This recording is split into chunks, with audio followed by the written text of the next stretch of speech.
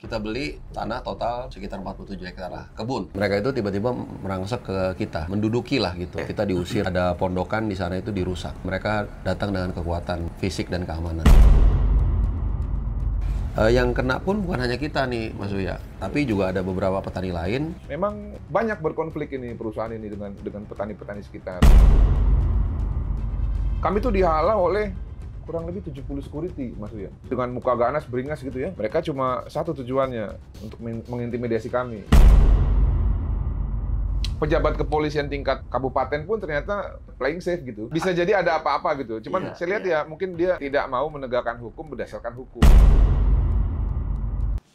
Assalamualaikum warahmatullahi wabarakatuh. Ketemu lagi bersama saya Uya Kuya atau Surya Utama SIP Sarjana Ilmu Politik. Sekaligus juga DPR RI terpilih dari Partai PAN, Partai Amanat Nasional di Komisi 9. Ketemu lagi di LBU, Lembaga Bantuan UIA. Kali ini ada Bang Martin Simanjuntak bersama kliennya Bang Aris Pardede. Aris Pardede yang katanya tanahnya diserobot dan ber, tanahnya dan bersama tanah beberapa warga lainnya. Ya. Betul. Diserobot dan juga pondoknya dirusak. Iya. Ya. Gimana ceritanya? Iya, jadi Uh, di mana? Di mana daerah mana? Oh, lokasinya itu di provinsinya Provinsi Jambi, hmm. kabupatennya Kabupaten Tanjung Jabung Timur. Oke. Okay. Jadi itu sekitar satu jam setengah lah dari hmm. kota Jambi. Iya. Nah itu ke kebun sawit itu saya beli intinya uh, 2021 hmm. dari ya warga situ lah. Hmm. Uh, kemudian saya naikkan nih suratnya hmm. jadi sertifikat. Iya. Gitu. Kenapa saya waktu itu menaikkan jadi sertifikat yeah. karena saya kan kurang paham yeah. apa ya ya begitu begitulah jadi saya tanya yang paling kuat ini status tanah di Indonesia apa sih? Sertifikat. Nah, ada yang lebih tinggi lagi nggak? Oh udah nggak ada itu udah paling tinggi. Ya udah saya mau dibikin sertifikat. Udah. Terus uh, saya tambahin lagi tuh saya beli lagi uh, di dekat situ. Tanahnya sporadik. Nah intinya dari 2021 itu kita beli uh, tanah total 40 sekitar 47 hektar lah. Kebun kebun. Uh, udah kita panen kita olah sebagaimana mestinya sebagaimana biasanya. Tapi kemudian sekitar satu setengah tahun kemudian medio 2022 itu tiba-tiba perusahaan di samping situ ke perusahaan ke, kebun BPIP kebun apa? kebun sawit. Kelapa sawit kelapa okay. sawit mereka itu tiba-tiba merangsek ke kita hmm. gitu. Ya me, inilah menduduki lah gitu. Okay. kita diusir lagi panen segala macam bahkan juga ada pondokan di sana itu dirusak gitu. Dan ya kita udah berkali-kali mencoba untuk menghalau tapi ya mereka datang dengan kekuatan fisik dan keamanan gitu. Oke okay, kekuatan fisik dan keamanan itu seperti apa? Uh, jadi mereka kan punya tenaga keamanan ya atau satpam lah seperti itu. Hmm. um, jadi ya mereka datang 60 orang mungkin 70 orang sekitar segitulah. Hmm. nah kita kan ya cuman paling 10 orang mungkin karyawan kita dan saya pun kan domisili di Jakarta hmm. jadi ya nggak bisa mempertahankan setiap saat di sana hmm. gitu nah tapi uh, yang kena pun bukan hanya kita nih Mas Uya tapi juga ada beberapa petani lain hmm. yang ya ada yang gak, seperti kita juga jadi korban tapi juga uh, ada yang memang berhasil mempertahankan kenapa karena mereka memang orang di situ tinggal gitu hmm. ya kasarnya mungkin asa parang lah gitu untuk menghalau gitu hmm. Oke oke oke dan uh, ini sudah upaya apa yang sudah dilakukan sama uh, Mas dan juga pihak-pihak pemilik tanah lain ini?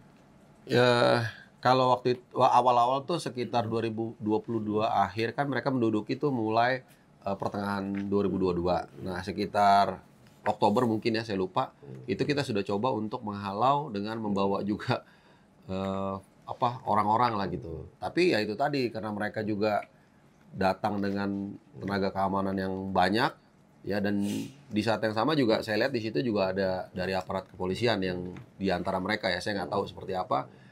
Ya tapi ya itu tadi. Nanti kemudian ditengahi oleh uh, kepolisian setempat ya. Terus disuruh mediasi. Tapi habis itu mereka kembali lagi menduduki setelah itu Oh, berulang ya. Berulang lagi berulang gitu. Lagi. Nah, yang kedua kita lakukan juga dengan dengan Bang Martin ya dan kawan-kawan. Hmm. Sama juga Mas kayak gitu. Jadi kita datang, kita coba uh, mengambil apa yang menjadi hak kita. Uh, tapi bahkan juga kita taruh pelang law firmnya Bang Marti juga dirubuhin. Kemudian ada pondokan lagi kita bikin dirubuhin juga. Nah, kemudian sama juga tuh, Mas. Mediasi di kantor bupati, bla bla bla. Kita datang dengan setumpuk surat SAM loh. Ya, sertifikat hak milik berarti ya. SAM itu udah ya. paling tinggi kan di ya. negara ini. Disentuh tanahku juga kalau kita masukin itu juga udah nongol. Mereka datang tanpa ada bukti surat kepemilikan tanah yang sah sama sekali. Nah, tapi seperti itu lagi nanti kita ke Jakarta, mereka menduduki lagi, panen lagi. Oke, kalau saat mediasi di sama bupati, kantor bupati, ya. itu di mana kantor polisi gitu ya? Di kantor bupati di, Tanjung Jabung Timur. Di kantor polisi belum pernah ya? Eh, mediasi? Uh, waktu itu belum belum. Oke, okay. nggak pernah. Di kantor bupati hmm. itu apa kata si PT BPIP ini? Ah, mungkin Bang Martin bilang apa dia? lebih. Jadi begini, masa mediasi. Saya itu bulan April ya, Bung ya, Harpa ya, ya, bulan April. Didatangi oleh Bung Harpa ini. Bung Harpa ini ya. salah satu sportcaster sepak bola Indonesia. Iya, iya, iya. Jadi kalau sepak bola timnas pasti kenal lah Bung Harpa ini. Iya, Bahkan ya, ya, ya. di Jambi pun banyak fansnya kan. Makanya waktu pas datang ke kantor saya bilang, waduh ini kayak saya pernah lihat gitu kan. Iya, iya, iya. Nah ternyata beliau ini punya persoalan lahan yang sudah terjadi carut marut semenjak 2022. Pas pula itu sama kasusnya almarhum Brigadir Joshua meninggal pada saat itu. Iya, iya, iya. iya. Nah, uh, saya begitu dapat kuasa dari Leharis, kami tuh langsung somasi nih, yang namanya PT Bukit Barisan Indah Prima ini.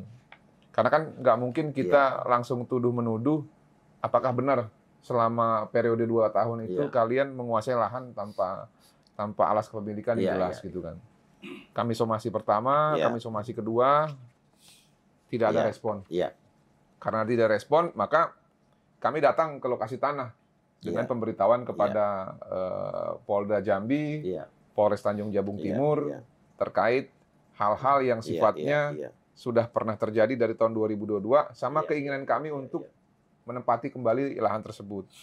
Nah, ternyata pada saat kami datang eh, kami mau mematok dan memberitahukan bahwa lahan itu memang berdasarkan sertifikat hak milik ini ya ada ada sembilan. Sorry tujuh. Tujuh sertifikat hak hak milik.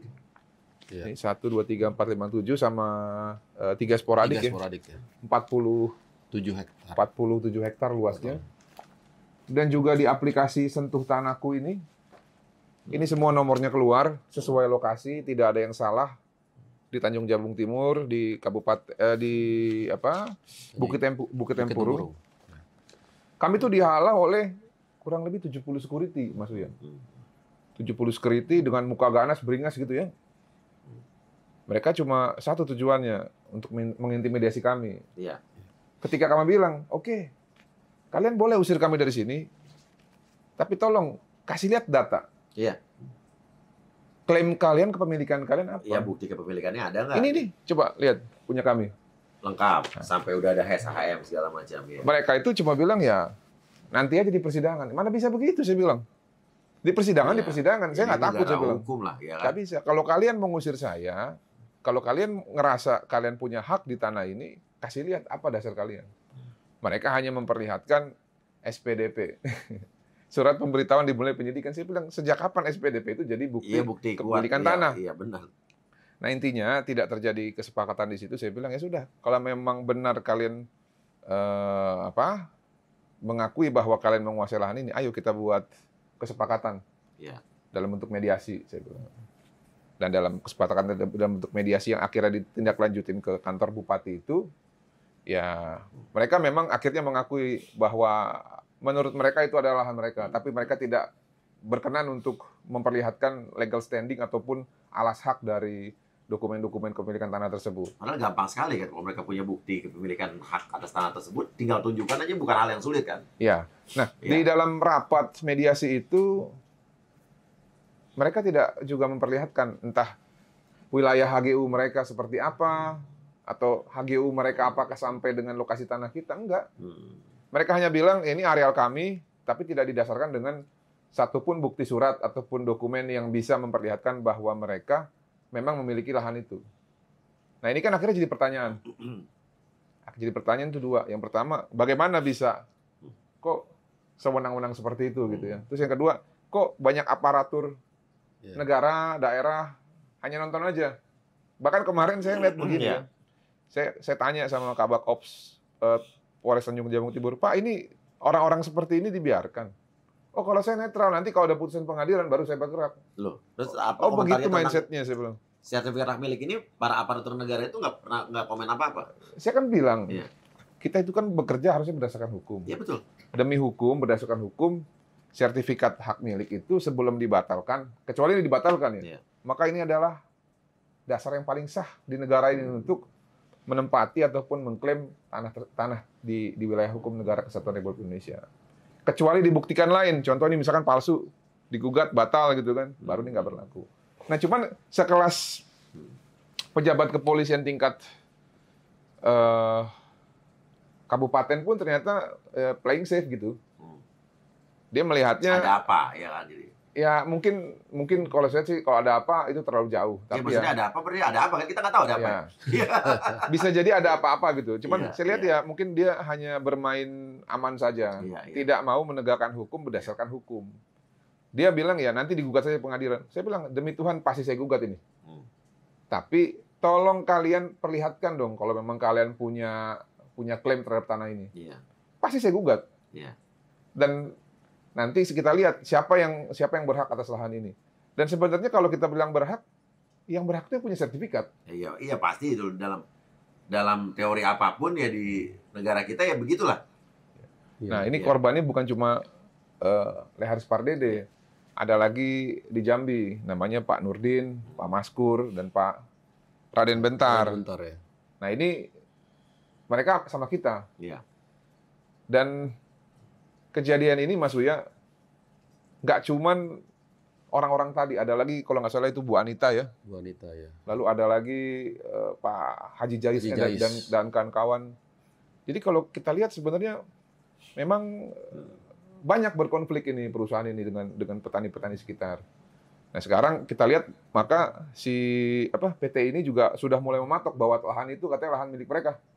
Ya. Hmm.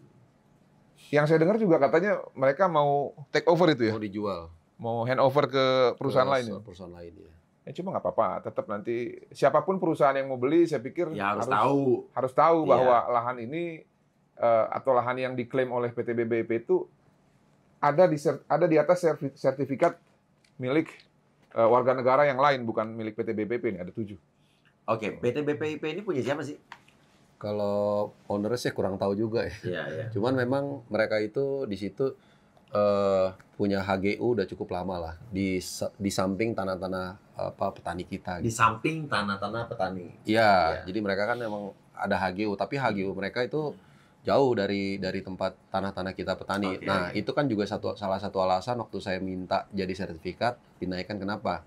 Karena saya yang awam hukum lah punya logika Nah, kalau ini sampai sertifikat berarti kan semua melalui jenjang yang harus dilewati. Yeah. Misalnya cek lokasinya dulu nih benarkah hmm, benar, dia tulisannya ya, Tanjung yeah. Jamu Timur dan lain-lain yeah. gitu loh. Itu logika sederhana saya waktu itu seperti itu. Hmm. Tapi itu tadi saya juga nggak paham ya maksudnya kecuali dia punya surat surat SAM juga gitu. Mungkin yeah. itu baru ya kita adu kita ya. adu. Ya, ini ya. dia nggak juga Mas, sama sekali dia nggak bawa uh, bukti kepemilikan yang yeah. sah atas tanah yeah. itu. Yeah. Yeah. Dan yang saya tadi tambahkan dari Bang Martin uh, kok aparat ini juga nggak bersikap nggak bersikap tegas ya? Ini kan udah jelas nih.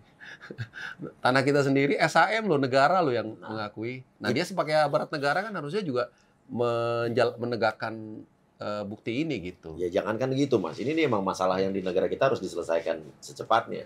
Hmm. Bapak saya bersama teman saudara-saudara dan teman-teman yang lain juga punya tanah di Desa Bedahan, udah ada hak bukti pemilikan, ada sertifikat. Hmm. Tiba-tiba hmm. bisa aja Toto udah berdiri real estate dari developer di situ.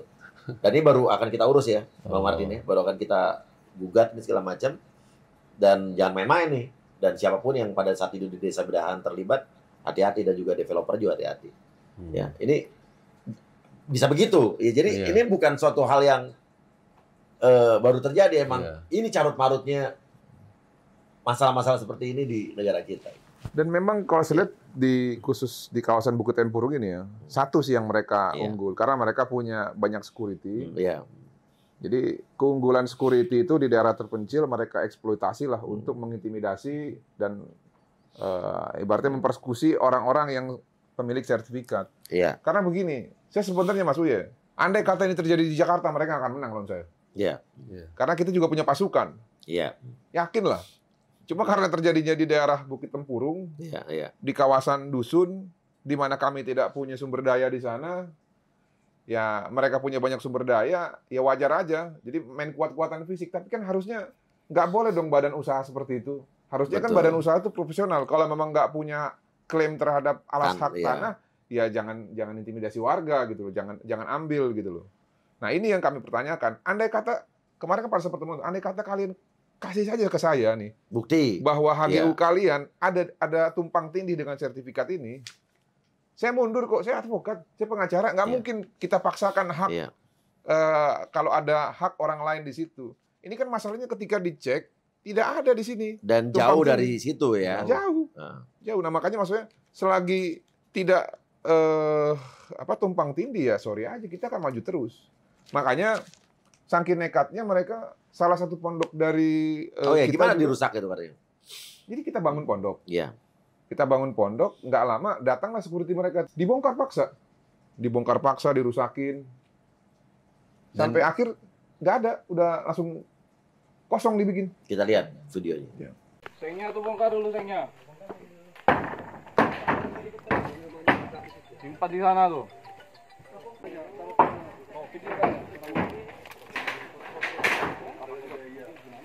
Oh,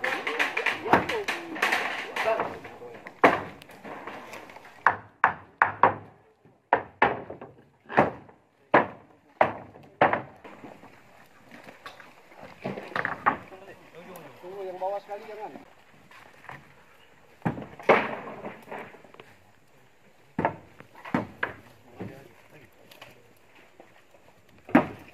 jadi tindakan itu juga sudah kita laporkan ke Polda, mhm. Polda Jambi. Kerusakan itu ya? Ya, karena buktinya lengkap, iya. saksinya iya. ada, dan jelas di situ di sini ada logonya tuh, logo perusahaan dari uh, security BBIP. PT BBIP. Iya, iya. Dan dalam uh, terakhir kita mediasi juga mereka ngaku bahwa mereka ditugaskan oleh atasan ataupun dari perusahaan untuk hmm. mempertahankan dan menguasai lahan tersebut. Hmm. Saya bilang oke, okay, nggak masalah sepanjang kalian mau mengaku itu, ya bagus. Nanti kita akan uji melalui uh, proses hukum. Iya, dan terakhir juga malah menurut saya sih lebih arogan lagi ya. Terakhir dia taruh kalau sebelumnya dia hanya manen aja. Ya bukan manen sebenarnya mencuri ya. Ya, ya. ya mencuri aja. E, ngambil buahnya. E, kalau sekarang dia udah berani taruh itu plang. Iya. Plang ini tanahnya uh, di dikuasai atau milik, mungkin nanti bisa kita lihat yeah, ininya ya yeah. BPIP itu. Mereka dengan arogannya seperti itu. Oke, okay.